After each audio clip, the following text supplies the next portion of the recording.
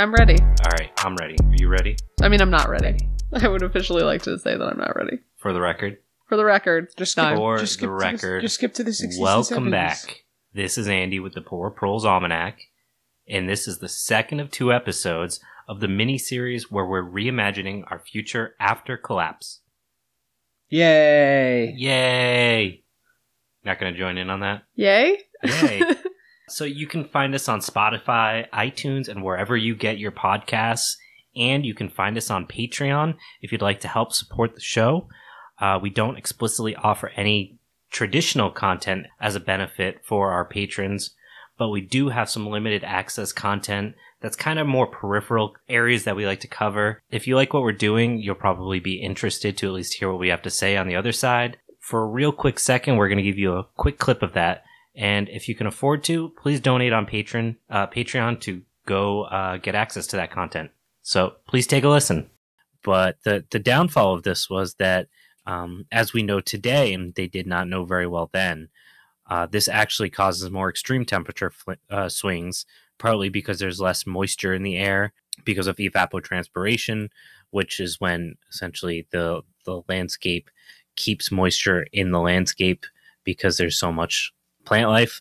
less light and heat reflected because there's less ground cover. Yeah. And then the second reason is that trees retain heat and also shield the landscape from cold and the heat. They kind of are like a, essentially insulation to the, the ground in the area wherever the woods is.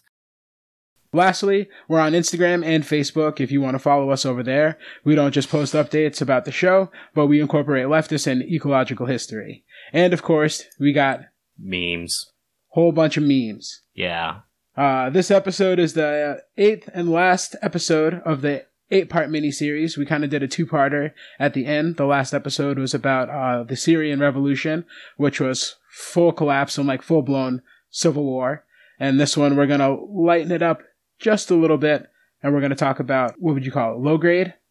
Yeah. Let's call it that. We'll call it a low grade or irregular uh, civil war, I think was a good word used to describe it. Yeah, and this episode, much like that one, is going to be a little bit different than the rest of the miniseries. This miniseries has been really focused around taking examples of what's existed uh, in different places of the world as models of what could be.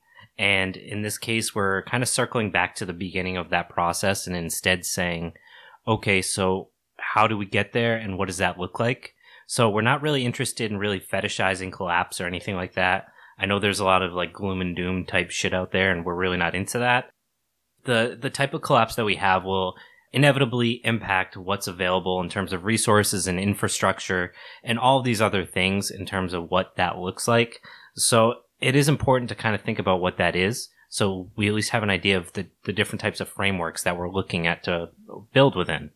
Right, and I think the idea for this episode is to take a big picture look at the scenario and not really get well, we'll get caught up in some details, but we're not going to um do like an extensive deep dive. I think we're just going to have fun with the conversation. Yeah. So while history can be a guide, generally speaking, it doesn't ever actually repeat itself. We rather see silhouettes of the past play out in real time rather than actually seeing those images play out again and again. Uh, which is, I think, something that gets kind of lost in a lot of these conversations when, especially like what's been going on in the last four years about Trump. You know, is he a fascist? How do we compare him to someone like Hitler or whatever? And you can get really tied down in the nuance or like these very, very broad statements that aren't really helpful to that conversation because it's more about like, is he Hitler? Did he do the same exact things or some of the same exact things instead of saying, let's look at the framework of what is going on in terms of consolidation of power and all these other things. And those are much more useful things to look at because that's the infrastructural stuff that'll exist even if Trump is gone, which we're hopefully going to find out this week. Who knows? Sure. So, getting more to the point of this episode, we are going to talk about we we came up with this awesome name for it. We're going to talk about the troubles in uh, Northern Ireland. And we have our first guest today. Super excited to have her on. Uh, Nash Flynn, everybody welcome. Hi. Hi. Hi. Hi. This is not your first time on. You were on one of our prologues, I was. so you are at least familiar with us. I've met you. You've met me. Yes. Uh, one of the things we talked about before we even started the show was a little bit about uh, the cultural impact of the Irish Civil War, and that most people don't know it's called the Troubles for a start. Other people don't even know really what the Irish Civil War is in terms of who's involved. And thirdly, a lot of people love the IRA, but they don't know a whole lot other than that they had car bombs. It's a lot more complicated.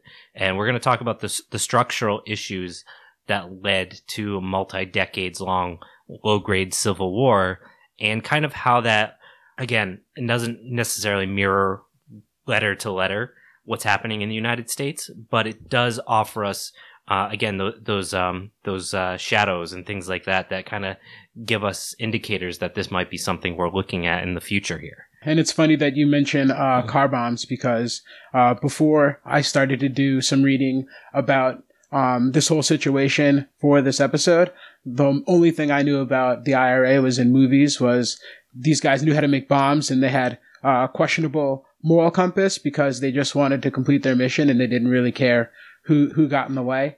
And then I started to take a look at this and see it's a thousand year struggle that goes back many many centuries and there's a lot of deep seated you know angst and anger there and it all sort of came to a, a head as the um, world was sort of trying to move forward i guess but also at the same time there was the spirit of 68 sort of these people the civil rights movement that sort of pushed um, the extremes together and i kind of we, we kind of see that now in the united states so we're going to talk about Yeah. those similarities and uh but first let's get the introduction First, Uh, brought to you by car bombs. no no yes, no no car bombs.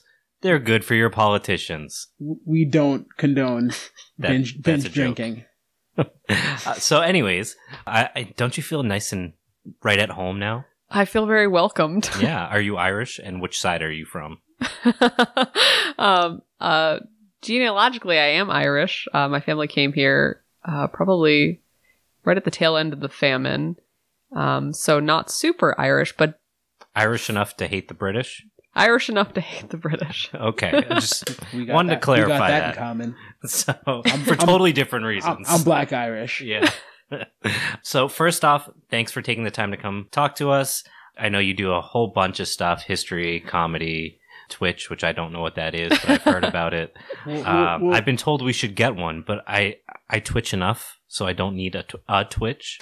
Um, extra twitches are welcome yes. So, anyways, I I know you got a podcast coming up on history, so I feel like that's something that maybe if people enjoy this, they might want to check that out. Sure, cabin fever comedy which is a comedy show as well I do. I that do. sounds awesome yeah how often do you do the show for cabin fever So Cabin Fever is live every other Saturday on Twitch. I believe our next show is uh well we're recording this on Saturday, so it's not this one. okay It's the next one, which is like the 19th or something. Awesome. I'm not good at dates.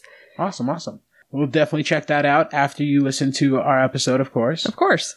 and um I managed to lose all my notes in that time. Don't worry, I found them. We're good. uh, there was no no uh, car bombings on my computer. There's gonna be a lot of car bombing jokes. You just have to accept it. I Uh, will try.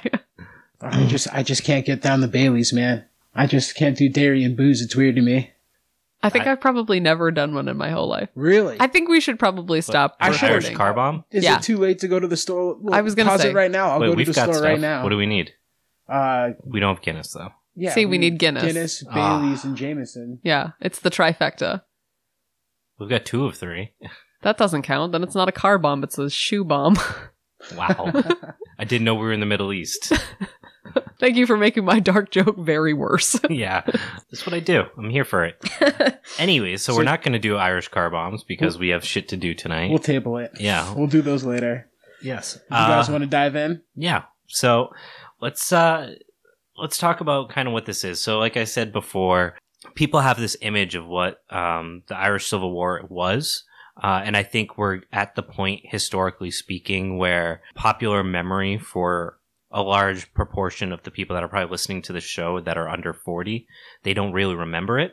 And that's, that's challenging in a couple different ways because then you rely on pop culture and particularly in America, the extent of pop culture of the Irish Civil War is the IRA and car bombs, and people don't know why, or they know it's something to do with Thatcher, and that's kind of the extent of it. But the the deep seated animosity that exists between the British and the Irish stems from something that, comparatively speaking, is much older and deeper than just what you would want to call, I guess, a civil war, Hmm. uh, where there's just a line drawn in the, the ground, and that's not entirely accurate to the populations and things like that. I, I don't want to go too far back in history Sure. talking about this because this is just one episode. but like, where would you say kind of the, the the first real deep cut that really started what became modern Irish Civil War? So I think um, a lot of historians, um, particularly in Ireland, actually cite the Norman conquest of Ireland um, in 1169 as the real precursor just to a lot of this relationship. Looking at it from a non uh, Eurocentric view, I think really the problem does start with Henry VIII, as a lot of our problems really do. Um, modern times. Yeah, that I, crazy bastard. I definitely know who that is. I You- know George. Uh, There were so many Georges. You're gonna have to be slightly more Henry, specific. Henry VIII collected heads like it was his yeah, Oh, is that he had guy. the he had the like billion wives. oh, he was the guy eight that's like, wives. yeah, yeah, wanted sons. didn't get 'em. Um, body count was pr- pretty Too high. high, Pretty, too high. It was pretty high. Um, I do know that. Yeah. I'm not a huge historian. That's why we have Nash on. yeah. But I do know Henry VIII was uh, pretty bloodthirsty. uh, it's and- been cited that the one of the precursors for a lot of this is from the bollocks of Henry VIII. So for Ah. American listeners, that's his balls. Yeah, he really want really wanted he had sons. angry. He had angry balls. And since we're talking about car bombs and drinking, angry balls is uh, what is it? Angry Orchard and Fireball in there. That's an angry ball drink. Oh, So that's fun. Fun That's called- facts brought to you by Elliot. called- can can we drink that instead? We yeah, don't have those are Fireball. just as good. Why did I agree to be on this podcast? We're not good at drinking. We just smoke weed on this podcast. So I mean, I'm drinking, but it's not good. where's my beer? I put it down. Uh, so I guess we'll fast forward because again, I I think it's useful to know that this is a very deep seated, sure. long, uh, Mhm. arduous relationship. I mean, the important thing to note about the Henry VIII thing, there's a there's a lot of historical context that there, but it's really that Ireland is Catholic, very Catholic during this time. And what Henry VIII does was invent the Church of England, which invents Protestantism. So they mm-hmm. separate from the Pope, which means that even though Ireland is a territory of the British at the moment, they tried to enforce Protestantism on everybody under the crown, and they couldn't do that because Ireland was Catholic. That will come back a million other times um, because the Irish are Catholic. Okay, I don't know what the differences are, other than that he made one. I think. Um, I, Henry- listen, as far as I'm concerned, anything that believes in Jesus is the same thing. I don't care what it's called; it's the same thing. It's just the way my brain works. I'm with you on that. I don't understand a lot of organized religion as a person, um, but there do seem to be some very bloody differences. Yeah, I guess other they're people- arguing over the same story Yeah. and, who, and who is in the story. Mhm. And Henry VIII decided to put himself in the story and just rewrote the Bible. Um, It's got that big dick energy. And Hey, when Big you have the power, energy. like why not? yeah, when you're, would you say I said big Richard energy. big Didn't he have like a father or a son? Somebody's Richard. That's in There are also many Richards. Yes, so there's a Richard. I- It was a king joke. All right, I don't get many of those. Let's leave that to, to the comedian historians. Okay? okay. there are like four of us. she gets paid to do this. All right. Paid is a Hey. relative term. Uh, so I guess that's important to understand. Uh, let's, I guess, fast forward that to Sure. more modern history that the collective consciousness would be aware of in Ireland. Um, well, okay, so there was a there was a pretty significant uprising in 1798. It sort of dovetailed with um the American Revolution and the French, you know, every decade revolution. It was pretty instantly quelled by the British um bloodily, but but after that there was just a lot of tension.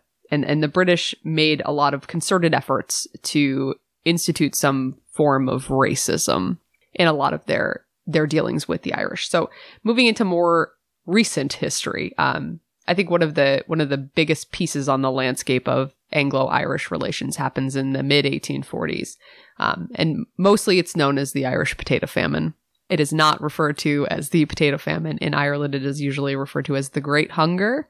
because from their point of view, there wasn't a famine at all. The Irish uh, really lived off of the potato at the at the time, partially because it has a lot of nutrients and it can sustain, and it's a pretty hardy crop. Saves through the winter. And also, potatoes are great for making clocks. Say clo- oh Potato clocks, Yeah. and yeah. Car also bombs. and also you can make alcohol with them. Also that Potato juice. Very good. vodka. Yeah. It's like a poteen, I believe it. Oh, they also do that. Yeah, Yeah. something else. So the the problem with the Irish reliance on potato wasn't the British reframe this als- often as it being the Irish's fault, but it really was one of the hardier crops that you can grow it really really quickly. It's only a couple months. It's really cheap, um, and it is pretty good for you. So uh, prior to the Great Hunger. Um, in the early 19th century, they sent over from Britain a couple people just to analyze what was happening in Ireland. And that man remarked that he couldn't believe how healthy these people looked for only living on the potato, which really should have sent up some red flags probably to anyone paying attention, but it didn't because of, again, British colonialism. So the problem was that really driving this this hunger was that the Irish did not own a lot of their own land. After the uprising um, in 1798, uh, the British made a real concerted effort to make sure that the, the Irish didn't have a lot of access to, to pull anything like that off again. So they they really focused their efforts on moving Protestantism over into Ireland and owning all of that land. So there was food in Ireland during the famine. The Irish just didn't have access to it, and due to British oversight and a lot of you know maltreatment and racism, they really didn't even get access to the the food that was being supplied to them in a crisis. And Yeah. so and so when you say moving over, was that the British they were uh, colonizing Northern Ireland at this time? That's always been the spot of contention. Um, it, it it was all around Ireland. It was it was an attempt to really infiltrate uh, Protestantism into all corners of, Mhm. of the island, um, and also just to to quell what they believed was voices of dissent. And part of that, I think, was that the British that moved there had access to that food because it's not like the Irish were just growing potatoes. Right. Uh, they were growing food, sending it places, and they couldn't afford to buy it. Right. And then they had to rely on the potato crops, which they could afford. So they were growing other foods, sending them to these British people, Mhm. whether it's back in Britain or people that had come to colonize the island and spread the good word of Protestantism that were able to continue to survive while they were literally living in squalor, right? Correct. So yeah, I, I think that might cause some contention. It sure did. I think the thing to really think about uh, with this conversation about the the potato famine really is historically speaking, like looking back, and you kind of alluded to it already. The the differences between how the Irish view um, this incident and how the British view it. Without getting too far ahead, has has that changed at all? Like historically, I know we still call it the potato famine. Mhm. Um, but is there any, even in 2020, I, I'm just thinking like people traditionally identify the end of the Irish Civil War as being in the late 90s. Has that language changed at all? I don't know that the language has changed too much. I do think that there has been a concerted effort on the behalf of Irish historians in particular to assign blame for the famine to the British, um, where it, I think it had been a little, a little nerve wracking before. You know, a lot of Irish historians in the past went to, you know, universities in Britain, not in Ireland, so the language sort of got adopted and co-opted into what we accept now as the potato famine. I do think that there's been a lot more effort to say that this was actually just malfeasance. You know, the British wanted them to die, and maybe they didn't actually think, I want an Irish person to die today because I'm going to go talk in Parliament about how poor people deserve it. But but I think that's just the reality. When you look at it, it's either deliberate or it's not. But people are dying anyway. Yeah, and um, just for context, when was the the potato famine? Uh, it is the mid 1840s. I So- think it starts in 42 and ends in Okay, 47. uh, just ni- mid 19th century. Mhm. Um, just for context, I'm thinking about like Charles Dickens. sure. Um, it's you know we just had Christmas and we watch at least in my house the the Muppets Christmas Carol. Of course. And like any good American, like that's the only, it's the best thing that's come out of this country in 30 years. That's how you consume Charles Dickens now. Yes, exactly. it's 2021. Come on. But the reason I'm bringing that up is one of the really um, poignant comments that um, Ebenezer Scrooge makes is that when the the poor die, it'll erase the surplus population, Sure. which I think is a really important, I guess, psychological understanding of this time period and this understanding. And we've kind of covered it a little bit on this podcast this idea of what is work and the role of capital to manipulate the labor force to keep cheap labor while also having too much production. Uh, and I think this speaks to it a little bit that this there was this mentality that rich and upper middle class people felt that there were too many people, and the problem in the country or the world was that there's too many people, and we can't feed and supply and clothe them. And it wasn't like something that you said behind closed doors. Right. And I, I think that mentality collectively has some impact on this decision. Again, whether or not it was subconsciously, like you said. Now to bring that kind of back home a little bit, I, I think primarily about like the Civil War in the United States Mhm. and the fact that we've never made reparations for it. That that psychological mentality of, uh, I guess, uh, conclusion of that uh, of the Civil War that we really haven't had that at this point. And um, you know, I don't. I should probably hand that off to Elliot to talk about more than me. I- I'm not going to sit here and say reparations need to be made for the Civil War, but I will say I don't I think I don't think the the lesson has even been learned for the Civil War and um, how that still affects the society that we live in today. How we're still fighting the same battle that was fought, even though it ended. We've never actually taken any steps forward to move past it. And there's two different lines of thought right now on the on extreme ends that are butting heads. Um, with the perfect example of the BLM protests in the past four years versus the attack on the Capitol about a week, week and a half, two weeks ago. People are seeing those as parallels, and they don't actually understand the difference between the events. They they do look similar, but you have to understand the history as to what's happening to really see what's going on. And the like you were saying about the Irish and the British, how the Irish have been com- I'm sorry, Irish historians have been coming out correcting the narrative, saying it was malfeasance on the British side and not just bad luck. That's sort of happening in the U.S. now, where slavery was bad and we've moved past it, but systemically we really haven't. That's what people are trying to point out. Sure. And I think in terms of public education, there's not a whole lot in either direction. If that makes Americans feel better, you know, there's a whole movement happening in Britain right now that hasn't got probably the traction that it really should, but it's called Decolonize the Narrative. But it's basically addressing the fact that in British school systems, they don't learn anything about their own history of violence and warfare. Or the other side of their colonialism and imperialism. Right. They only see the British side of it versus what, you know, Yeah, those colonies were like before they showed up and how it affected them after. Right. And it's hard to train and to teach your citizens anything about the world or things that they don't understand about the world when they don't get any of that context. So none of the Irish history is actually taught in British schools. I think the really important point here is that there's this very big historical impact that has happened in both countries that have marginalized a huge population of because uh, what's of Northern Ireland speak uh, speaking of Northern Ireland specifically Hmm. about what percentage are Protestant versus Catholic do you happen to know Off the top of my head, no. Uh, there are, so there are six counties, but pretty much only Derry has a lot of Catholics. yeah Londonderry. Yeah I was going to say, is that Derry or Londonderry? Which which one is it? Yes. I, I, I, I looked it up and The- I saw the both, free land and of it was interchanging. Derry, So it yeah. depends. Is this like the if you're in a British school, it's London Londonderry, and anywhere else it's Derry? well, there's free Derry. It's sort of different. fist up free Is dairy that, is that like You are now entering go free for- Derry. the Baileys and car bombs? this is the you are now entering the autonomous zone of the Zapatistas Mexican law no longer applies here All right, say that with a brogue. No no Gotcha. Yeah. um so yeah, I think um I think that kind of frames up the conversation. It's interesting that those things kind of happened at the same time. Hmm. We're talking both early 20th century Yep. or I'm sorry, uh, mid mid 19th Yep. century. I don't know why I said I followed you except for the actual, Yeah. you know. But they did happen around the same time frame.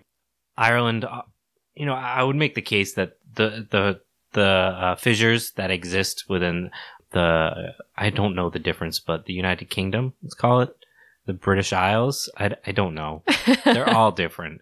I every time I look at a map, I'm like, oh yeah, that makes sense. And then I try to remember it, and I'm like, nope, Don't so the remember. United Kingdom is everything except for the Republic of Ireland. The British Isles encompasses the whole thing, but it's not a generally recognized Irish term. Okay, so my point is that Yeah. um, Fucking Viva la Revolution or, or whatever this. I'm not. I'm not Look, sure. I don't want to start anything new after Brexit. I'm just giving you the facts. Oh, that's another conversation. yeah, and I, actually, I think a little bit of that plays into some of these the historical narrative that you were just talking about. Sure. and That a lot of British don't understand the, their history. Mhm.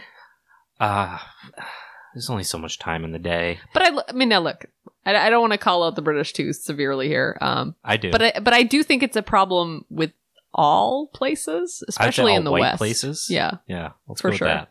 Uh, I think that's so. Now we've kind of framed up the conversation about what led to the Irish. I I, I want to say the modern Irish uh, Civil War because I Mhm. think that that history is old, uh, new enough that it led to specific events that snowballed into what became the Irish Revolution or Irish Civil War, rather, uh, which we don't really have in this country for a, a number of reasons but I feel like the things that happened long ago in Ireland are happening now. Hmm. Uh, so we're just on a later trajectory.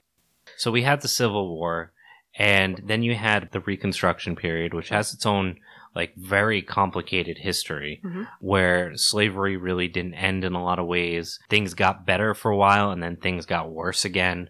But there was never any real moment that was like, I mean, I guess you could look at like uh, Wilmington, North Carolina, or you could look at Black Wall Street.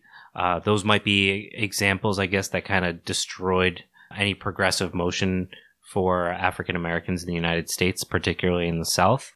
But I, I don't think those qu- quite relate to the the very political act um, that the Irish took, because those actions were taken by Klansmen primarily. Uh, so that, that it's a different relationship in terms of uh, ownership of that action that causes progress or uh, regression. So yeah, like what what were kind of those big first steps sure. uh, that led things forward?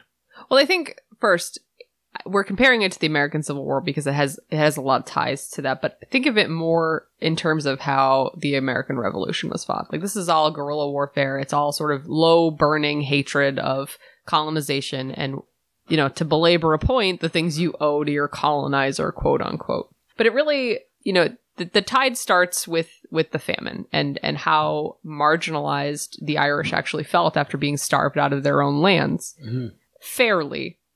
Um, so in Ireland, sort of post famine recovery, they really began to fight for for home rule. So they wanted a free and independent Ireland. They get it passed in 1912 in the British Parliament with some caveats that they didn't necessarily love. It goes into effect in 1914, and then the world gets embroiled in a world war. Now I'm I'm gonna flex my history muscles. You Go. said in Parliament was that the Sinn Fein? And am I saying that correctly? You are saying it correctly, Sinn Sinn Féin. Féin? Yes. That was the parliamentary group. How many people was it? So you're you're a little ahead of us. Okay. Um, oh, sorry. No, no, no. So this is in British Parliament. They enact the Irish Home Rule. Okay. It gets suspended in 1914 because everybody gets fighting a world war. And Britain is like, look, we can't spare you guys. Right. And Ireland was technically neutral. right. So they suspend Home Rule. And as a result of that suspension, Ireland responds with forming the IRB. So the Irish Republican Brotherhood, which eventually becomes the Irish Republican Army. Okay. So happy birthday, you guys. Is that really a thing? Their birthday was No. oh I mean, maybe. I. IRB IRA.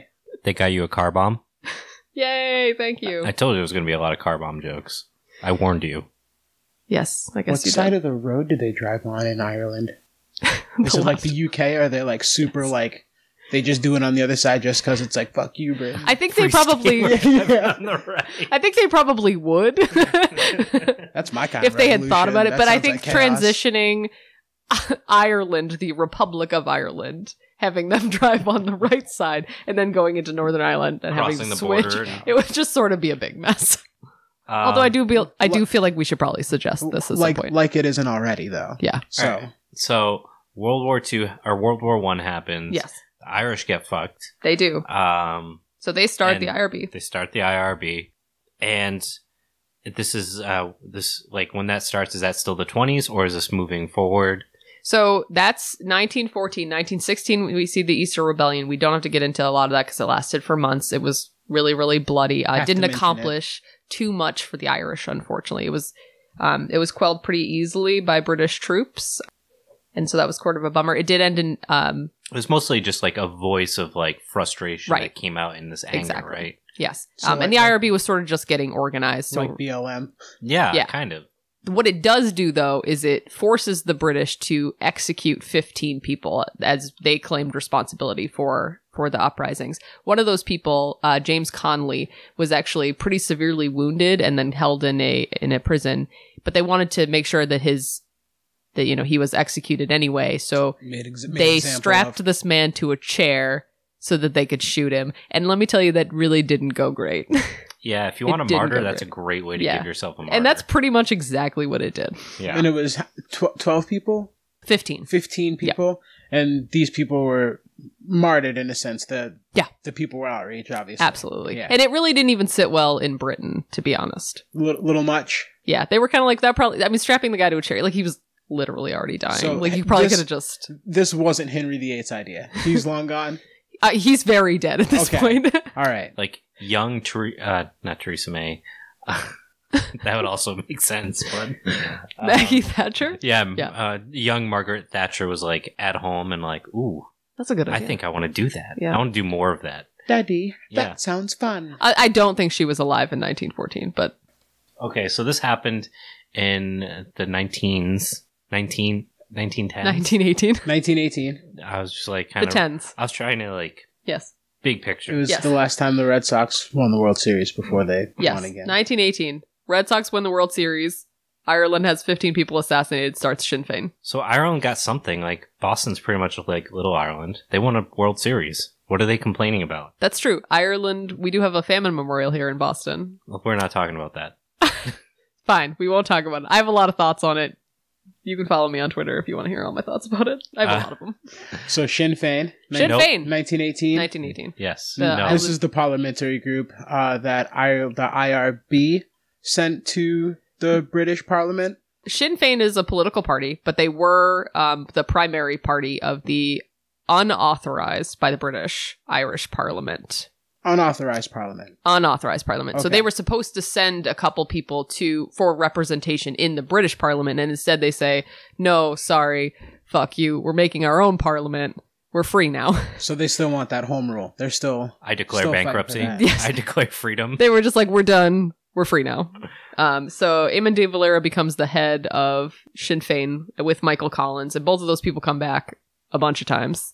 Yeah. So it's fast forward. I've heard the name Collins before. um, Yes. Who's the other? So Collins brokers the. Sorry, did you want me to? you can talk. I, I, just, had figured a you didn't. I just had a follow up question. This Yeah. is from my personal knowledge. Yeah. I, I recognize the name Collins, but what was, who was the other person? you Eamon mentioned? de Valera. de Valera. Okay. Yes. So And- so they start the Dáil Éireann in um, in 1918. That's the Irish Parliament. Michael Collins becomes the Minister of Finance. Um, both of those people were in prison when they started Parliament for treason, but then they were like, we're not. They got broken out basically. Um, Car bomb. not quite yet. wall bomb. We're not at car bomb yet. Okay. We do get there, but we're we're not quite there yet. So the IRB during this time becomes the IRA. They become the official army of Ireland. So they're done talking and they're They're done paramilitary talking. now. Yes. Yeah, and this is when they started getting a really big influx of um like very Marxist ideas, right? Yes, yes. And they start sort of seeking a support from abroad from groups because they really want to be independent. So they go to the states. Um, they get they get a lot a lot of popularity over here. They go to Argentina where there's uh, been significant Irish diaspora. So from the famine, when sort of people were fleeing if they could flee, um, going back to those roots and saying we really still want to be free. They starved us out. What are you going to do to help us? And Um, obviously the French, because the French love a good Well, revolution. you know, if you're gonna if you're gonna plan a revolution, please involve the French. They would every like to 10 be years. involved. Every 10 years. like clockwork. You have to love them for it, though. yeah. It's a little healthy rebellion. So they start fighting this guerrilla warfare with the British uh, on Irish soil. Um, but now, in now, I'm sorry. Yeah, one more year are question. we in? Are we in Northern Ireland now? Or is this still we're all still over all Ireland? over Ireland. This is all over Ireland. a lot of these combatants end up happening in Northern Ireland Okay, because that's where That seems to be the place of contention because well that's, where all the Protestants were. right, right. Um, but that this goes back to what we were talking about when they started to colonize Exactly. Okay. Yes. This is so. This is thousands of years we're talking. And if you look on a map with the, the islands, you can sort of see it's easiest to go up through Scotland and just sort of, I think it's like 20 kilometers or 20 miles, I can't remember which one, Probably between Scotland and Northern Ireland. So it's like basically you just get on a little boat. You're there. Okay. It's pretty easy. So in 1921, Michael Collins goes on a trip to visit um, Lloyd George in, in Britain. They broker the Anglo Irish Treaty.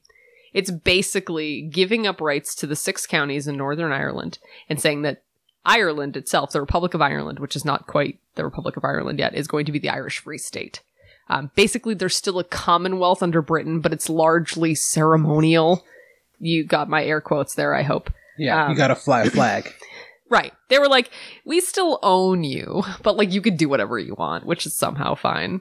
Um, the British love their flags. You got to fly that Union Jack. exactly. Um, so pretty much the, the problem with this is no other previously colonized state had agreed to become a commonwealth. Everybody had been pretty much independent at this point. So it's a really shit deal. And so Collins got a lot of shit for it. He actually says when he signed the treaty with Lloyd George, I just signed my own death warrant, but I thought it was the only choice. Um, and he was right. He was right. Uh, the IRA assassinated him. Car bomb. Yes. Oh shit! Goddamn. Um, so he misstepped. He he settled Yes. for too little, and these people were like, "That's not that's not enough." Well, he did have some support. It was really the only, in my opinion, um, it was really the only choice on the table. It was as far as they were going to get Britain to cave. It made a lot of sense in the time. You know, Collins was literally like, "This is the best deal we're going to get. It will give us the option to fight for a full unified Ireland, which was always the goal Right. of of Sinn Féin and the IRA." Right. Um, so he gets almost all the way there. He's actually the foil to De Valera. Mhm. So Ireland becomes split between these two guys. Um, and a lot of current conjecture is that De Valera actually ordered the hit that had him killed. That's not that's not understood historically as like a true fact with capital letters, but he was pretty pissed. He uh, Collins went without De Valera like approving what was going to happen, and Collins was just like, "Yes, we're going to do this." Um, so he really forced De Valera's hand, and the IRA wasn't pleased. The IRA has been fighting for a unified Ireland this entire time, and to this day, I believe. depending who you ask. Yeah. Yes, yes, Um, at least until 1998. Yeah. uh, uh, legally speaking, Yes. until 1998 and no further. Our lawyers are shaking their heads. Yeah, so we'll we'll fast forward. They got this agreement put together that nobody was happy about. The guy that put it together died in a mysterious car bombing that nobody can point to where it came from. Must have been just a really bad engine or Mhm. something. And the next like 20 or so years go by and things kind of just ratchet up, right? yeah, pretty much everything from 22 to like the 70s is kind of just like a very low boil of a civil war happening primarily right on that border. Sure. Okay. So just more of the same bullshit on the low simmer. It's the then- 70s that we really see some. And as some that escalation. moisture just boils off, like you get this really nice viscous liquid that ultimately explodes, right? what do Um, you got? Gas on the stove? no, just like soup. Soup But, doesn't like, you- explode. All right. Soup doesn't explode. It doesn't. Not explode. my, maybe not your soup. It's explosive in flavor. Is that what you're Yeah, saying? it's explosive and delicious. the secret is time on a car bomb. yes, Yes. that was well played. Nice. Traditionally speaking, I guess now we're really getting into what's been traditionally called the Troubles. right. 1956. is Um, yeah, right, the- right around ni- the fifties. Yep. So you've got about forty years that this civil war, depending who you ask, Mhm. is whether or not it was technically a civil war, starts kind of blowing up. Why not? Don't smile at me like that. Low hanging fruit. Yes, a little too low hanging, like a car bomb. so yeah, there's there's a lot of things going on, and um, I think the thing that, and I'll let you talk a little bit about it. And one of the, I think one of the the th- the accelerants to make another car bomb joke Jesus. uh, is that uh, you had you brought up this idea of like this very uh, palpable racism that existed, which intermingled, especially at this period, with a, a bad economy, which kind of again was that accelerant Mhm. for what became the Irish Civil War. That people couldn't afford anything, they couldn't find jobs or any of these things. Yeah. And I think that's really important to kind of contextualize the economic conditions that kind of led to that situation where people couldn't afford to live, and then they have this uh, very colonialist relationship with their neighbors.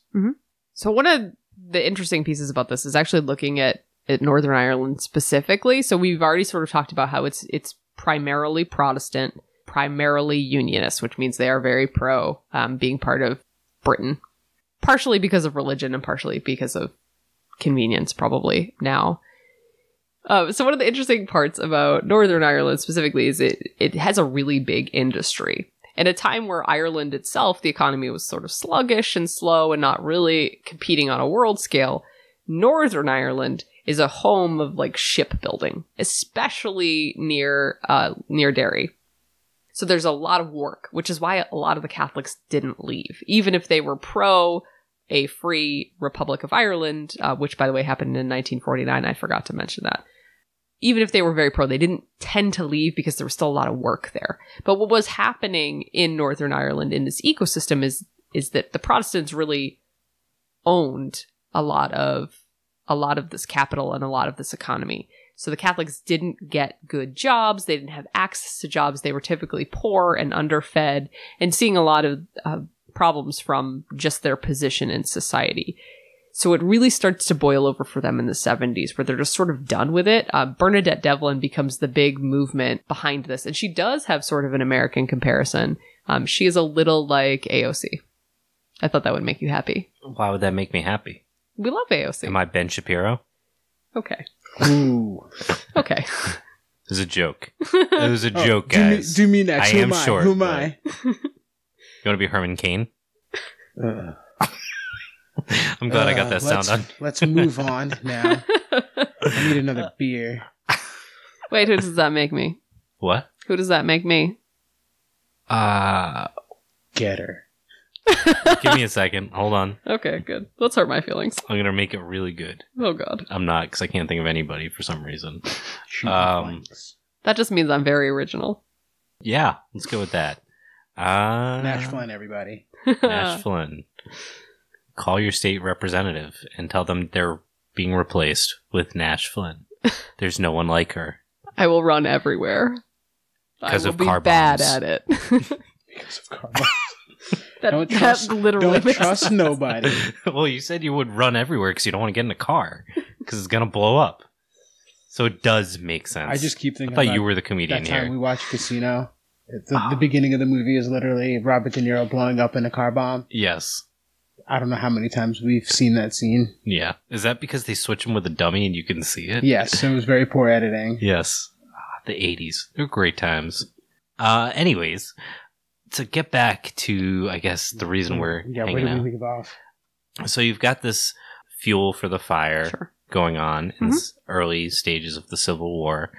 And you've got this weird coalition that's fighting for civil rights because the economy is just decimating these people who can't afford to live.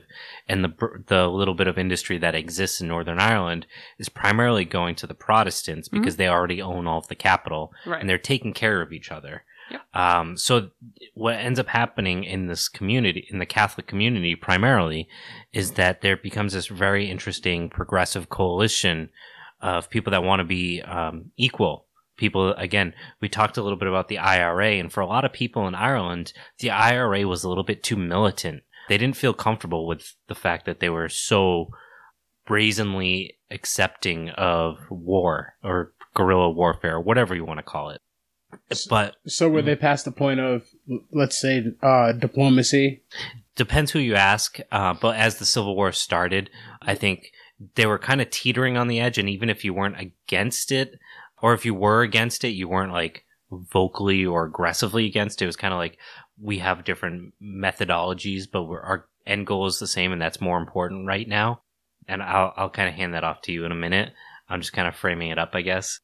But what ended up happening, and I think is really poignant for what's happening right now in the United States, is that the fact that this coalition began to exist, which is obviously good for these people that they're like kind of finding this solidarity, is that that became really easy fodder for the other side of, oh, they're siding with the, you know, the radicals with the guns and things like that. And I think this goes back to like, especially here, you'd mentioned like, oh, that's like their Black Lives Matter, like this, like massive, massive anger that kind of lashed out at a system that wasn't listening. Currently, what's happening, if you watch like mainstream news, uh, is this like very uh, depending where you watch if you're watching fox it's obviously a little bit more aggressive about it but like this very latent understanding of this militant side of black lives matter and using that as a justification for continuing the system that exists. Saying that like oh if these militants do something if they kill somebody or if they you know are aggressive like you think about what happened in i think it was seattle where uh, that man shot another guy because he felt his life was un- or his friend's life was uh, being threatened, and uh, there was a retaliatory murder by the cops where like they it's pretty much been publicly accepted. It wasn't even they had no intention of arresting him. They went there to kill him. That was accepted by the public for the most part because of the fact that what that first guy had done was considered to be uh, a heinous act despite the fact that it was self defense because of his affiliation with Black Lives Matter and the supposed left wing Marxist piece of the coalition that makes up Black Lives Matter. You see this happening in Ireland in the 50s uh, with the Marxist involvement with the IRA. So I, I, think that's a really important component when we start talking about this civil rights movement that's going on in, in Ireland at the time. So I guess to kick it back to you, how did the 50s and 60s and this weird coalition and their relationship to the Protestants kind of play out? So we see in the 70s this uptick of like very, very violent clashes. Um, starts with the Battle of the Bogside in Northern Ireland, which is um, sort of this this start of this Ulster volunteer force. So you start to see the Unionists mobilize, really fight back alongside uh, the British forces. For a while, they play happily together against against the IRA um, and the Catholics. So you see the Battle of Bogside, which is really su- when some people say the troubles really began. Obviously, it it stems a little bit before that. There are some precursing events, but um, but it really is cited as sort of it really derailing in in seventy two, I believe, and then and then obviously Bloody Sunday, which everybody is somewhat familiar with. Sunday, Bloody Sunday. No, you too. Oh, we Oh, don't, I we don't, we don't do that too. on this podcast. No. You alone. Instead of you two. Come on. Nothing? I got dad jokes. I'm a dad. Let's leave it to Nash Flynn. It's maybe not. It's been really Listen, it, it's actually really, really hard to be a comedian and a historian because you don't get an opportunity to really make a ton of jokes that are both things. Um, Yeah, I've been I would- doing a I would lot of just- car I bomb would jokes. Just, I I, would you're just offend about. a ton of Irish people if I made any jokes, so I'm staying quiet over here. I, I mean, I, I think the only joke I really have on this is um, calm like a bomb. it's not that one. Please don't think that I gave him that one. Is really that that you know over decades He's laughing. he's not. so he's just being polite. so It's so good. bad. See, Come on. Rage Against the Machine is allowed on this podcast. Yes, Go ahead now. hundred percent. it's just that you know this this is a really really bloody affair. It's it's really it, it is a guerrilla war, so it, lots of people die. Some of them die really violently. Um, there's a lot of Sure, and these are it's a civil war, so these are neighbors and people. Right. You know, this is in their neighborhood on their turf. Um, it's not something they see on the news every day. It's Right. in their neighborhoods and backyards. And, and you know it starts in the 50s. It ends in 1998. sure, Um, so four ends decades. you know ends. and and it's very very Irish Catholic of them to refer to this entire situation as the Troubles. the troubles. Like you're having an unwanted pregnancy at 16. The Troubles. for for a four year. You said uh, you weren't going to make that joke. I said I wasn't going to make it, but I I did make That's it. so awesome. there you we are. swung for the fucking bleachers. I feel like you're going to edit this out. No, I'll give you that one. Thank you. I really appreciate you giving it to me because I don't get to tell my famine memorial joke. Yes. I'm 50%. It counts. So she's half offended. I'm half offended.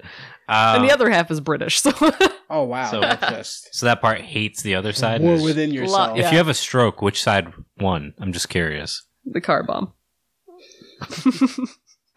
That's the best I could do. That's awesome. Wow. um, She stole your joke. she did, but she didn't even do it good. No, Like, I didn't. I didn't. If you're gonna I don't know how to make a good car bomb joke, I guess. Clear It's you. all about timing. yeah.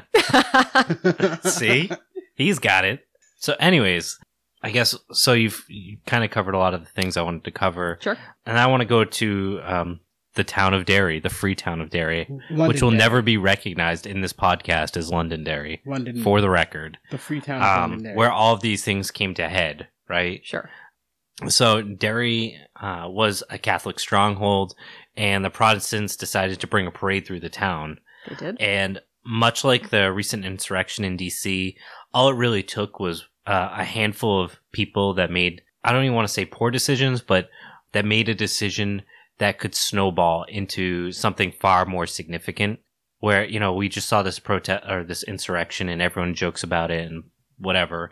What concerns me the most is that they had an intent and you don't have to be smart to have a good shot. You don't have to be smart to hit the wrong person at the wrong moment. Like, and I think that's what concerns me the most uh, is the left laughing about what happened, being like, "What a bunch of fucking morons that thought they could do this," and like we're so poorly prepared because of the fact that they had so much insider help that it really all it would have taken is if that woman hadn't been shot off of the woman that died. She was climbing into the or trying to climb into the window where the Senate was. All she had to do was get over that window and take one shot, and this country would have been in fucking civil war. Like I don't think people have really made that connection that like she was probably 10 feet away from a civil war in this country. And it has nothing to do with her having a great plan or her really even understanding what she was doing uh, to her fullest capacity, but being in the wrong place at the wrong time. And I think we see that play out in Derry. So I'll I'll let you talk about it if you want to. I mean, I, I think I think some people made some poor decisions. I think the I- British probably made some poor decisions. Again, like the the point is that isn't that like everything's going to play out the same exact way, but you have this parade that decides to go through Derry, and that was a poor decision to allow in the first place. Mhm. Much like it was a poor decision to allow Donald Trump to have a protest rally outside of the fucking Senate when they're counting the votes against him. Like, who thought that was going to go okay? All it took was really a couple of protesters to start throwing rocks, and the police, who have been tired of dealing with this, whatever they were calling it at the time, because I don't think it- they were calling it the Troubles, but maybe whatever, isolated incidences, Mhm. um, and feeling frustrated and kind of taking it out on those protesters. And it kind of snowballed Yeah. uh, into a multi day affair. Yeah. And um, they went from guns to weapons. And uh, What? all- I'm sorry, um, from rocks to weapons. Yeah. I mean, also guns. Yeah, I mean, they might have been throwing guns and then shooting guns. I don't know. Uh, I'm, I'm not Irish. I'm Italian. Like we don't. I mean, when you run we out just of go bullets, straight to guns. We don't fuck around. when you uh, run out of bullets with your gun, you just throw the gun. I'm pretty sure that's how it works. Just a heavy club, yeah. right? It's Yeah. just a rock that has that used to have bullets in it. It's a very weirdly shaped rock. It's easy to throw though, like a javelin. Okay, I've never so. thrown a. I've never thrown a You've never, gun. you've never thrown a gun. I've never been near a gun. I think that's important to clarify. Yeah, uh, what's interesting is the protests started blowing up. Mhm. Getting laughs. I am laughing. Yes. It's a silent laugh. Yes. It yes. hurts. I tried not to, but yeah. And they ended up bringing the British Army to try to maintain as a neutral force, yes, which I think the fact that both sides had initially genuinely considered the British Army a neutral force is really interesting, first off, because of the fact that the British are the reason this clusterfuck is happening. right. And despite that, they don't look at them as the primary agents of the conditions and instead really direct their anger towards the Protestants themselves, which I think is important to kind of keep in mind. As a neutral force, they, they feared that the nationalists, those that supported the British, the Protestants, would not exist to maintain law and order, but to crack down on the Irish nationalists. Mm-hmm. So the protesters continued escalating, and fears from the loyal Irish that the nationalists would win led to three different groups infighting, essentially. The Irish nationalists being the enemy of both sides, the Protestants being concerned that the British were going to be too nice to the Irish eh, or the Catholics, and then the British army just trying to maintain the peace, but also kind of hating the nationalists. So you've got these three different parties kind of playing out, even though two are kind of on the same side hmm they're having a hard time seeing eye to eye. And again, I think this is really important to consider. Again, thinking about the insurrection, like you have a party of people that were trying to overthrow the government to maintain the government, which seems kind of ludicrous but it it speaks to a very similar condition. I mean, I think it describes it perfectly for what it was. It was a protest and an insurrection, so we'll just call it a protest direction. That that sounds like something's wrong with your dick. right? I'm really not doing my job here, Right? but I'm not. Why did I bring you on here You're not touching that one? I'm not I- touching That was that a toss up. In fairness It fairness hit to the me, ground like a hood of a 1968. I don't know what they drive in Ireland. Toyota Corolla. yeah. uh, but like even like you look at like Portland or Seattle or Minneapolis, and you've got the Proud Boys facing off against uh, Black Lives Matter protesters or Antifa, and then you've got the local cops getting involved. And you've got this triangulated relationship where two of them are kind of on the same side, but they can't officially be on the same side. At the same time, there's factions of like the three percenters or the Patriot Prayer or whoever who also hate cops. The system isn't exactly what they want. So you've got this weird challenging of authority while also being on the same side, but you also have a common enemy. right. That just that triangulated relationship gets really messy. I guess that's why this is this whole clusterfuck is considered a, a low grade civil war because it's a three way fight. This is what I was asking earlier. It doesn't really seem like there's a place for diplomacy or really talking about it because everybody is fighting somebody from all of the deep seated, you know, history and and everything that's happened with the violence and um Yeah, what it what it comes down to is the fact that nobody can get a majority. If there's thirty percent, thirty percent, thirty percent, Right. or if one goes up to forty, Right. whatever, you're never going to have one part, one side that has a majority, and they're going to continuously be fighting. right, we definitely see that now currently in the United States. It's troubling.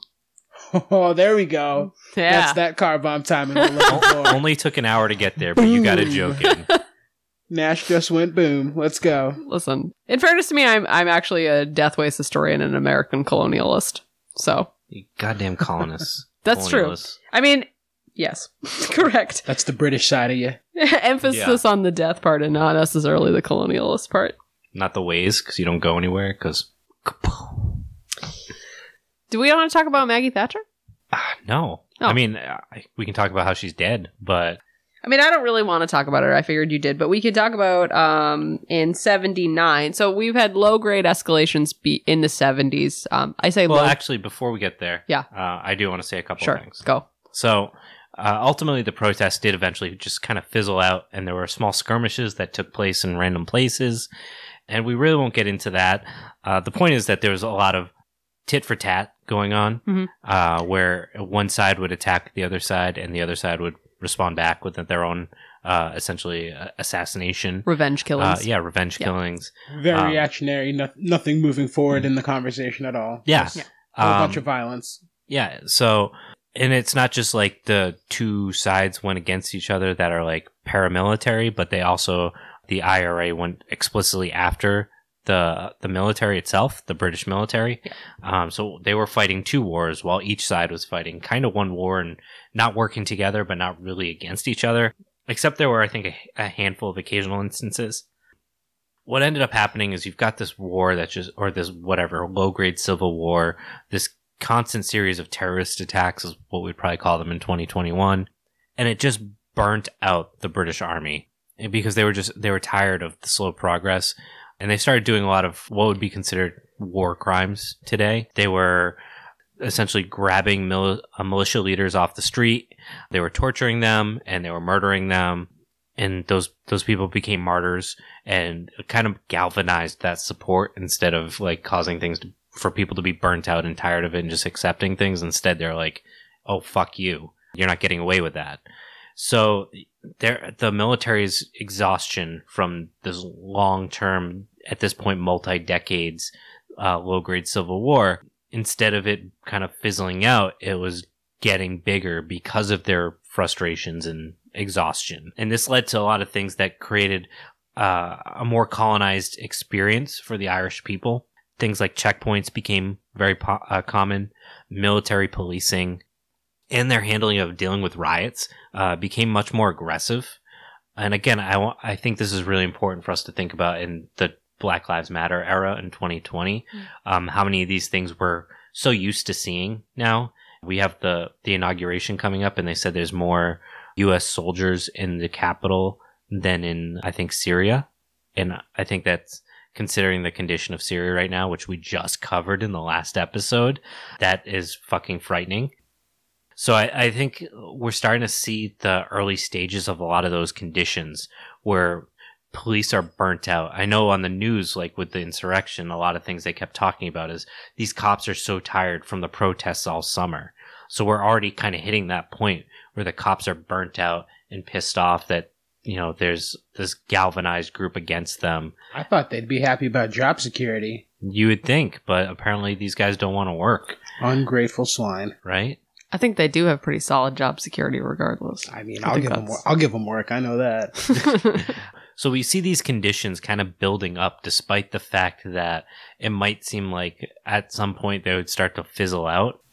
This kind of boiled over in 1972 during an anti-internment march when the British soldiers they were uh, burnt out and there's a, a really rowdy crowd. They ended up firing in, and not that that's any excuse at all for their actions. Um, just trying to contextualize it, I guess, and try to be objective. They ended up killing 14 people, shooting out, uh, shooting into the crowd.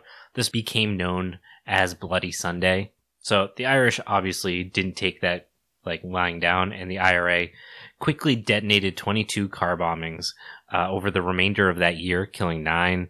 Things began to escalate really quickly. There were already these checkpoint areas, but no go areas broke out, uh, which relied primarily on paramilitaries and barricades. And it ultimately took 27,000 British soldiers to clear this out.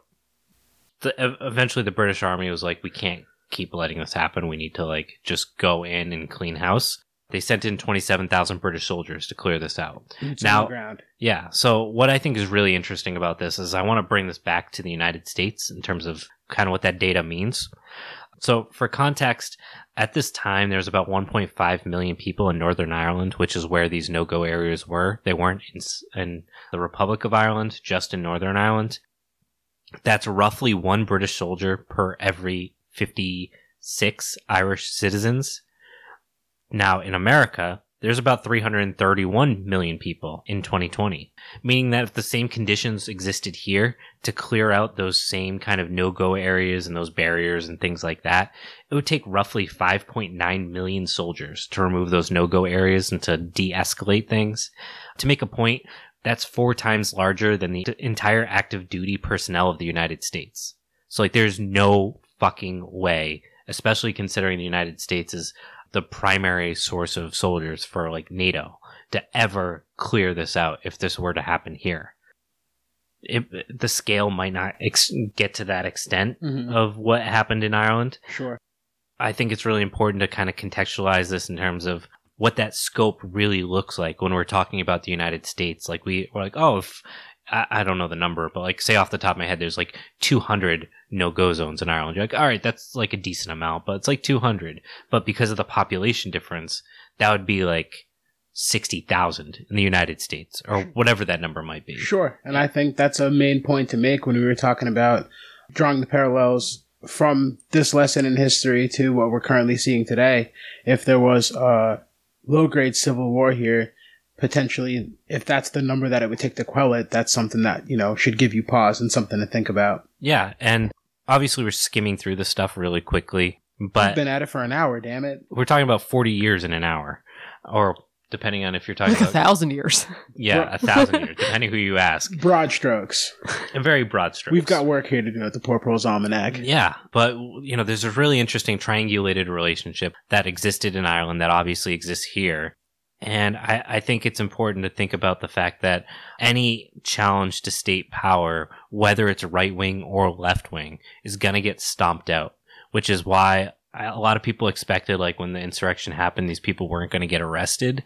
But the fact is that they challenged the state power and they're, they're going to fucking slam their foot on them because like it's one thing to protest. It's another thing to actually physically try to challenge that power. And, um, in the left, uh, in the United States particularly, the left has been building up to try to really not create a militia per se, but like create an organized movement towards building solidarity and understanding of weaponry. So you have groups like the Socialist Rifle Association and the Anarchist Rifle Association that are organizing to teach particularly uh, marginalized people how to shoot weapons, how to uh, the process of getting ownership of them, and uh, giving them uh, safe places where they can learn to shoot if they don't feel comfortable going to the traditional ranges, which I get. And we we talked about it a bit in the prologues about the experience of going to a range and um, what what goes with that, uh, depending on your background. That said, you know we we kind of brought up this idea that all it takes is one bad instance to create civil war conditions in the right you know situation like the insurrection. Or a series of small Yeah. i won't say small but a series of instances uh, usually in quick succession. We're looking at like we said a four decade plus timeline in, in the under a microscope. But when we frame it up in the conversation we're looking back what we go back the past four years and we can see a lot of similarities drawn to our current situation yeah uh, from these four decades Yeah. The the reason why I think these things are important and why it's important to kind of compare them is if we look at some place like Charlottesville, Dr. Cornel West had made the case that if it weren't for the groups like Redneck Revolt, which doesn't exist anymore, who showed up and were armed and ready to defend them, the church they were in was surrounded by white supremacists who were there to burn it down. And if it weren't for the armed militia that had existed, he probably wouldn't be alive and he's very much like a a far left uh, liberal. Like he's not really like a Marxist or a communist or an anarchist or anything. I don't get the impression he has any interest in guns, but he recognized the fact that if it weren't for these people who did believe in guns, he probably would be dead. And I think that's important to reinforce that all it takes is for them to not exist to be that pushback, which we saw a bit in DC at the insurrection is that Antifa, Black Lives Matter weren't there, and look how quickly it escalated. Mostly because they know better than to show up at the Capitol because, like, they don't fuck around. Unless you're white, apparently. I mean, if I didn't have a job right now, I'd think about doing something to go to federal prison. think they should be somewhere warm. Three hots in a cot, baby. Yeah. So yeah, I guess let's let's accelerate from there. Let's get into the 80s. For starters, in, in the 70s, to take us back just slightly, so the IRA are really employing this like revenge killing, and then there's like a response from either the British or the Northern Irish. In the 70s, the IRA successfully murder, kill, assassinate, whatever word you want. Uh, Carbominate. well, this wasn't a car bomb, this was a Oh. boat bomb. a boat bomb. Is that like a boat super bomb. car bomb? it's a naval car bomb. Oh, I'm gonna have to think about that. I'm gonna have to Mm. come up with something good for that. How many knots in that potato? Because like navel Got it. knots. All right. So they they kill I, Lord. I shook my head. I, it was a thinker. So they they kill uh, Lord Mountbatten, who is a a royal family member, and his two grandchildren while they're out on a boat. They had a family vacation home in Ireland. Um, so they get murdered. Um, and obviously Maggie Thatcher doesn't take that one lying down. I mean, she probably did. I guess it was probably in the middle of the night for her, but. Sorry, that was an image no one wanted. No. Pictured her in the like the jammies with like the nightcap Ugh. and like the candelabra getting up. Oh, Oh, sorry. She wasn't in office yet. That was a lie. She was in politics, but she was not. Well then, Yes. way to fucking go, Sorry. quote unquote historian. Um, so that was one of the first times I really felt it on the mainland in terms of, of the violence. yes, and the- yes. yeah. Thank you. And then Maggie Thatcher enters office in 1979. So welcome to the 80s, We made it. Maggie. Bad hair. Um, at the time, they were dealing with a lot of, well, she herself was dealing with a lot of hunger strikes happening in the prisons for Irish freedom. She was not super pleased about that. what a shock! She was annoyed that the peasants required things. Yes. Yes. So she became the IRA's primary target pretty quickly into her into her tenure as prime minister. They did make an atta- assassination attempt in uh, 1984 where they uh, with they took out the hotel she was staying in. It took out her bathroom, but unfortunately she survived. Um, I said the word unfortunately and I didn't mean to. Ooh. No, you Tell meant- us how you really feel. I'm really sorry about that. Please edit it out. No, Oh, they're coming for you. MI6 is fucking on this shit. the Thatcher Snatcher's coming for you. Nice. So so she lives, um, and she's pretty pissed about it. So she goes That she's T- alive. Sorry, no. She's pissed about almost being murdered. She's very happy to be alive. She likes power a lot. She hasn't been doing it very long. She's like thrilled. Must have been a nice ass bathroom. She was pissed. A lot She of- was a lot of Furious. She was like, I had plans they had a French to take a nice there. tub and now it's exploded and some people are dead. Um, so the day after the bombing of the hotel, um, the IRA claims responsibility and Maggie Thatcher is like, absolutely, that's enough. That's enough. She said that those responsible were going to pay. And this is really when the tide starts turning for the IRA somehow. People are sort of tired of this constant fear of car bombs and this, this just like violence. Right. Um, It doesn't seem like, uh, well, to me, just looking back on it, and I'm still lear- I'm learning about this Sure. whole thing right now, but it doesn't really seem like they're asking for much at this point. It just sort of Right. seems like they're venting frustration over and over again. They're spinning their wheels, Right. really. Is Yeah. They're not. They're asking for something they know they're never going to get. Right. Right. And they're not going to get it because Northern Ireland exists. Right. And that's really not so so what IRA really wants at this point is a unified free Ireland. Mhm. They're not going to get it because Northern Ireland does not want to be right. They part want of- the whole island. Right. They want the right to self-govern and to choose what that governing feels like. So we'll talk about this a little bit later. Okay. Um probably not too much later cuz Go ahead. like maybe point. minutes. Sorry to interrupt. No, no, no, no, no, no. So there's a there's an Anglo-Irish agreement in I think 85 that starts this like slow roll into these peace talks that go into the 90s. But really, we start to see some tactics to to dissuade the IRA um, or dissuade people from supporting the IRA. Basically, being like they're a bunch of thugs, for lack of a better term. Um, and you really start to see this tide turning for them where they were a big big big force for this Irish movement and they start to lose steam a little and they sort of disintegrate and get involved um, more politically later on as parts of Sinn Féin come sort of back to the table. Okay. So would you say um, within the IRA at this time uh, was there any sort of like power vacuum with you know small groups of support trying to take the movement in a progressive direction, trying to move forward, or was everybody just fixated on revenge, like revenge all the time? I mean, I'm not sure that anybody really knows what the IRA narrative really looked like internally, unless they were a member. Um, but there definitely does seem to be some kind of fracturing. The group does take responsibility for for a lot of the violence on the landscape, so there is at least some notion that that there is some organization. Um, but I can't speak to that specifically either in either direction. I don't know if you Yeah, can. no, I can't. But I think the important thing to keep in mind is I don't think without assassination attempt Thatcher would have come to the table right, to discuss and at least give uh, the. Well, here's the thing: is they already had like the bullshit paper. Like we're gonna pretend to care. Like she had to feign enough interest that gave them a sense of self determination that they were looking for, Mhm. and um, it was just enough, I think, that it merited challenging the IRA's ability to do what they felt was necessary. Right. Because she had given enough, just enough, that it became a question of, well, we've gotten something we haven't for so long. What's the point of continuing to do these very violent and again, it was more of a means to an end that Mm. became less justified once the new peace treaty started rolling in right, as time went on, the actions of the IRA didn't no longer they were no longer beneficial for their politics in terms of the the way they were perceived by their community. And this kind of opened up the opportunity for some to kind of find that middle ground to get into the politics and dismiss the the violent component of the IRA Right. and find a way to make a voice for the Irish Free State without using bombs.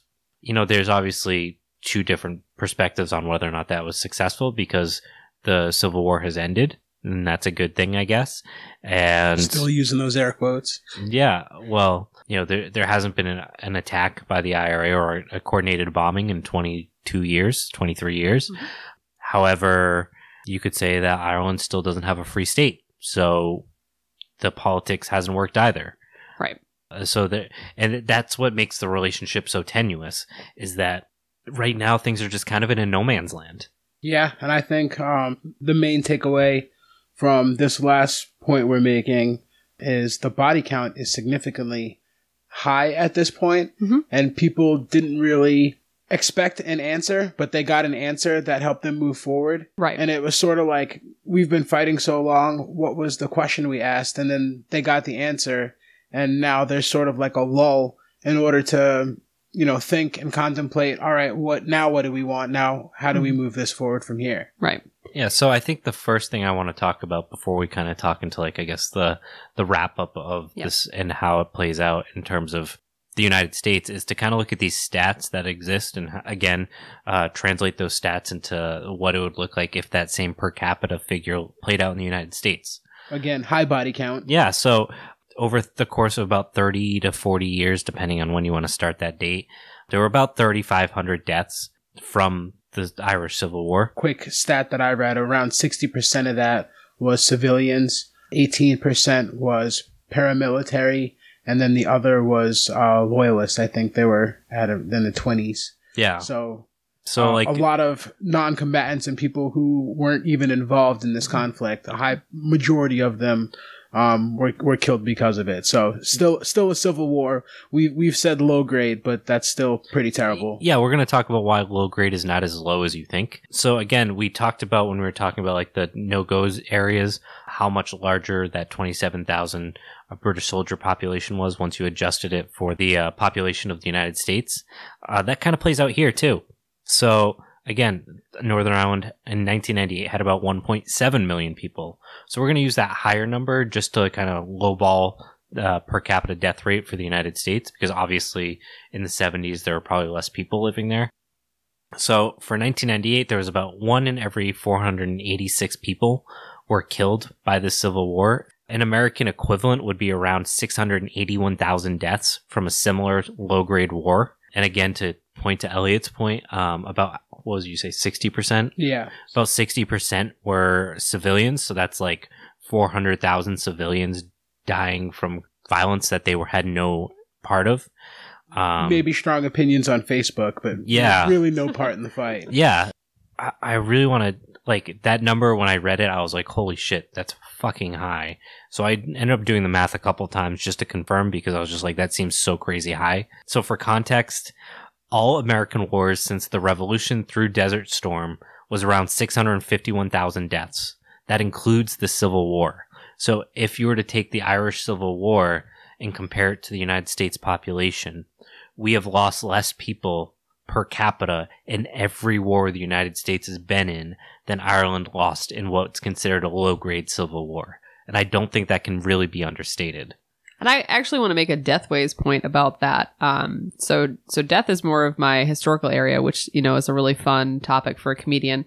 But the American Civil War actually changed our entire relationship with death because we felt like there were so many bodies and so many people knew people who had died and seen it. Like the battlefields were were everywhere on our landscape.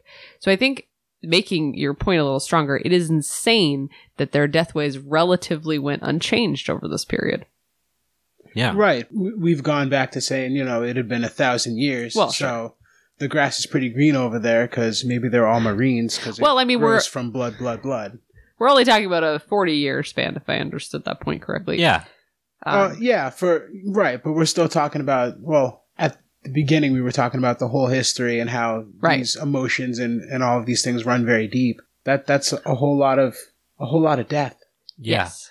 I want to bring up this point to kind of tie back into this idea of the per capita. So we we've been talking about this idea of car bombs, and when again, if this were to take place in the United States, that per capita car bomb rate would be much, uh, or the rate wouldn't change, but the amount, the volume in the United States would be significantly higher if something like this were to break out. Now, when the IRA were planning these attacks, Mm. did they ever do anything that would attack like infrastructure, food systems, power systems, transportation systems, anything like that? As far as I know, and again, this is not really my area, but, But it wasn't like a, or my point is like, is that a, at some point a primary point of like, all right, if we're gonna starve them out or we're Sure. gonna, you know, whatever. there was never any very big deliberate attempt to cripple a people because i think part of it too is that, that the, the ira really tried to choose political opportunities or do a revenge killing based on those political opportunities that were already sort of done against them. So, you know, I think they really did try to make a concerted effort to only involve the people for whom they sought responsibility. Um, you know, they they did blow up a hotel that that they knew Maggie Thatcher was in, so it probably did kill some civilians, but there was no attempt to to cut off British supply at any stage or to to murder civilians solely for the benefit of murdering civilians. This went from a revolution to like a personal beef. Like it sounds like some gang shit. I mean, in the eighties, in the eighties, there's really an attempt to discredit what's what's happening because so much of it had become a stalemate at that point in Northern Ireland specifically. And, and so you see the party leader of Sinn Féin, who's sort of the majority at the moment, Gerry Adams, uh, in '88 actually starts to distance himself, whereas this the Sinn Féin and IRA had really had a collaborative relationship for a lot of years prior to that. And he really starts to be like, you guys need to stop. So um, one of the one of the precursor events for that is two British troops actually accidentally, so the story goes, wander into an Irish funerary procession, um, and they get murdered by the IRA. Um, and their naked bodies are left out. It makes the news. It's it's sort of on the tail of the Maggie Thatcher assassination attempt, and that's really where you start to see Sinn Féin be like, "Look, we are not, we are no longer condoning the IRA," and you start to see the support for them really taper off after that, where they sort of take the background, and Sinn Féin becomes a negotiating party with the British and with Northern Ireland representatives. So we'll wait to see that parallel happen in the United States. Peace talks, man. Yeah, if we're lucky, we'll have peace talks someday. well, apparently you need peace walls, and we're getting pretty good building those. So are we? I feel like maybe we I are. mean, yeah, we're trying. We're in the early They said. stages. I I think there's another similarity that I want to point out that we really didn't cover, uh, but I think it's really important, especially in the United States, in the way you know you watch like I think about when you watch the election and like they they start like calculating the vote and you watch where the votes are and things like that. Within Ireland, we have this obvious border of Northern Ireland and the Republic of Ireland, but more clearly, we also see these divisions between urban and rural, um, where the urban spaces are primarily driven by industry, which is owned by capital, which is owned by Protestants, and the urban, uh, the rural space is kind of where the cultural identity of Ireland has continued to exist. And I know we didn't even talk about the language component of Ireland because we're not really here to just talk about Ireland, but I know you have a background in that, so I don't know if you want to talk about that at all. I mean, so so the Irish language, it it it does still exist. People often refer to it as a dead language. That is very inaccurate. Uh, last year, I think they the, the number of people that were relatively fluent was like 1.5 million, uh, which is way higher than I thought it would be. But it, it does exist in pockets of Ireland. Some of them are rural. It's really not spoken to the cities. But it is um, it is there. It is an official language in Ireland, um, and you are required to learn it to pass your leaving cert, which is the Irish version of the diploma. The reason I bring that up is because the language language is so cultural, Mhm. and you know we're talking about a very cultural. Like the reason why there's Catholics is because they've Right. said "fuck you" to Protestantism. Right. Yeah. the fact that there's these pockets, uh, these urban pockets Mhm. that have primarily drawn that Protestant culture and kind of uh, nullified their historical culture, and then these rural spaces that have kind of refused that. Are those the pockets of Catholics within Northern Ireland? I mean, I'm not so sure how it how it breaks out on the the physical landscape. Um, I am curious to see post Brexit, the official post Brexit, what what Northern Ireland decides to do because they were pretty much unilaterally in favor of remaining in the EU. So obviously, when Brexit triggered, it didn't represent their views. But throughout Ireland, I do think that there is a hope of a unified, united Ireland at some point. I hope they get it because I think at this point they've they've been fighting each other for so long. I think it would be nice. Yeah, I mean, you'd them. think after all the car bombings, Right. you'd think you'd want somebody new and like right. I I, to I share just a car bomb with. right. I mean, I don't know. I don't know how predominantly the the religious factor is still playing in. I mean, I'm not. I'm sort of a religious, so I guess it's hard for me to. Yeah, I think though, and I think this gets lost in the United States because of a lot of things. The the cultural Right. aspects of religion. You know, my family's from Italy, and like they're not religious, but they're still religious because it's part of their cultural identity and it has nothing to do with like what they believe or anything like that. Um, it, you know, my, my father's an atheist and he also yelled at me for not baptizing my kids because that's what you do, uh, even though he, he agrees that it's pointless. It, it's the cultural marker Hmm. that's more important than the, the spiritual component. And I think that still exists more heavily in Europe than it does here in the United States. Yeah. Well, to make a point, we were talking about the histories, and those histories are tradition. So, yeah, the the difference in sex, the difference in um, religion, the difference of being a loyalist or a Republican, those are traditions in and of themselves, right? Yeah. Like um, when, when you grow up in that and with that, wouldn't you already at, have at your this opinion point, formed? like, yeah. Like when you're talking about 40 years of war, like, yeah, your position's pretty immalleable. So to kind of circle this back, I guess, you know, when we're talking about the United States in particular, we try to imagine what it, it's funny, like a lot of the notes I wrote were before the insurrection last week. So it's kind of interesting to now look back and see what I was thinking because of how that kind of played out and what I would have expected to happen. But, you know, we, we expected that there would be these pockets of resistance to both the Trump administration, organized groups that would support the tr- uh, current president, that I think we could lump into the term that's kind of gone by the wayside, the alt right, that are at this point very splintered versions of the same general goals. They they all have their slight different understandings of the role of government and things like that, but either way, they all kind of try to operate as paramilitias in collusion with the police in some cases, and other times with the goal of starting a civil war by killing cops, despite believing quote unquote law and order. So it, it can be confusing, and I think that's important to consider. At the end of the day, we are talking about a country of over 300 million people versus an island of, what did I say, 1.5? 1.5 or 7. Yeah.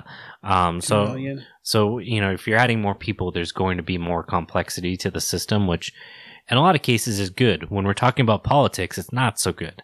Or civil war, more specifically. So at this point, I don't know whether or not, well, actually, that this is still relevant. I wrote that at this point, we don't know whether or not Trump will actually be stepping down in Jan- January. He has the support of all of these right wing groups, despite not having a cohe- uh, coherent ideology. I think that's part of why he has their support and that he hasn't said enough to alienate any of them, but has said enough for them to interpret what they want him to reflect. And I think that's actually really indicative of what happened after this insurrection when he kind of uh, realized it wasn't going to work, kind of backed off.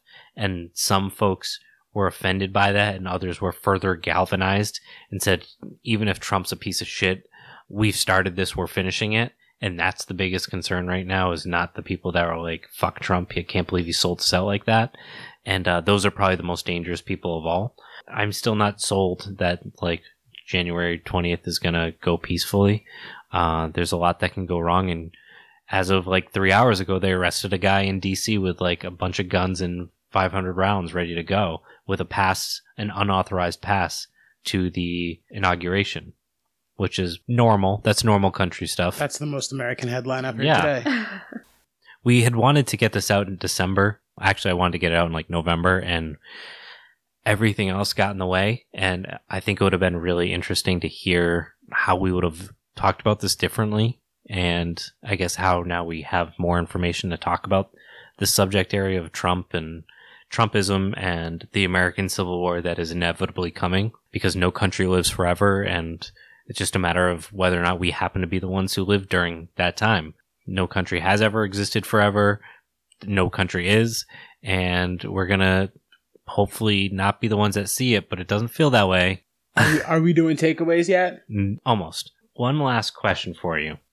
We've kind of talked about a lot of these ideas of what have accelerated the tensions in Ireland. And in our case, we've got Donald Trump, who's kind of the accelerant to like some really deep seated shit that's been going on in the United States for a long time. Is there any suggestion we might be looking at more activity like like what happened in Ireland that I didn't that we didn't really talk about? Um, is there something that kind of like stood out as we kind of went through this that you thought would be worth talking about? I'm pretty bad at politics in general, but I, I, I don't know. I, I do think we've sort of been treading water in a lot of the issues that we see in this country on, on a on a lot of topics just for so long because we're just disillusioned with it, and I think the tendency really leans towards disenfranchisement and not radicalization. So I I worry about that. But as as a comedian, you know, I've really enjoyed living through a plague, so why not a civil war? Sure. Well, thank you so much for being a part of this. Thank you for having me. Um, before we let you go, why don't you plug again? So if people have forgotten by now Yeah, and they still think that you're funny for some reason, wouldn't Uh, expect that, but okay. uh, what you're working on? Uh, so, like I mentioned before, every every other Saturday, my comedy show, Cabin Fever Comedy, goes live on Twitch on Comedy Hub. Uh, you should just subscribe so that you get the notification when we go live because I have no idea what date it is, so I can't tell you when the date of the next one is.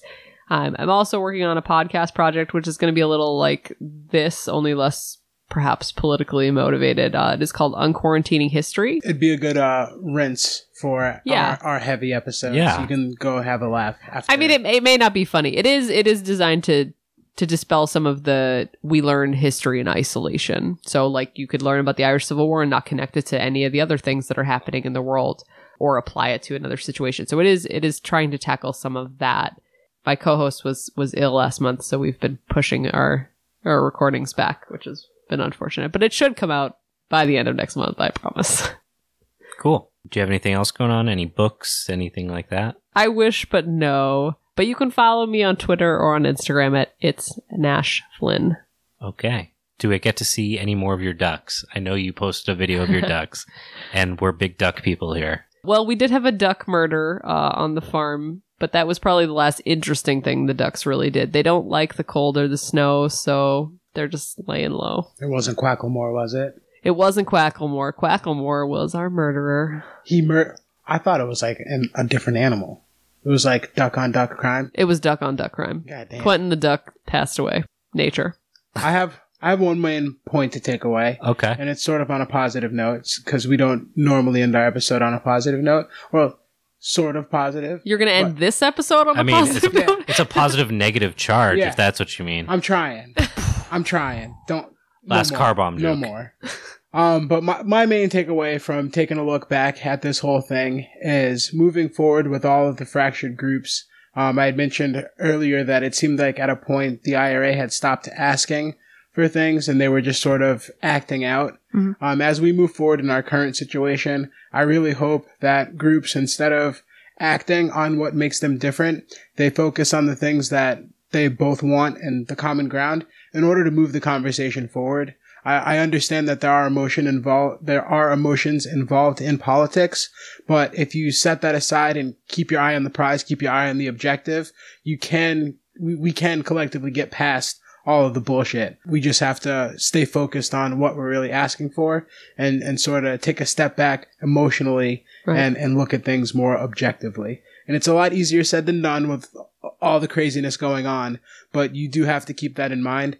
And I just wanted to say that after we talk about something as heavy as this and apply it to what's potentially and what is happening now. And I mean, Yeah. look, if it doesn't go our way or things don't get wrapped up, climate change is going to kill us in like 20 years anyway. Well, that's why we're doing this.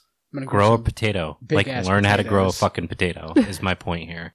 If you enjoyed this episode, go check out the episode we did before this. I think if you're on Spotify or whatever, it'll probably be two episodes before on the Syrian civil war. It's very similar, but that's considered kind of our worst case scenario is looking at what's happened there. We looked at this as more of a best case scenario if a civil war were to break out. We've kind of highlighted a lot of the issues that overlap in terms of the United States and our current material conditions, uh, the economic issues, the various relationships that exist between uh, paramilitaries and the U.S. government, and very similarly, we have we've had a f- pretty far right wing government kind of trying to steer that ship, and um, that's not really changing with Joe Biden. And lastly, if you did enjoy this, which I'm assuming you did, if you're still listening after probably about an hour and 40 minutes when this is edited, go check us out on iTunes. Give us a review. Those reviews help us get recommended more to people. It allows us to get more listeners, which gives us more opportunity to get in new guests.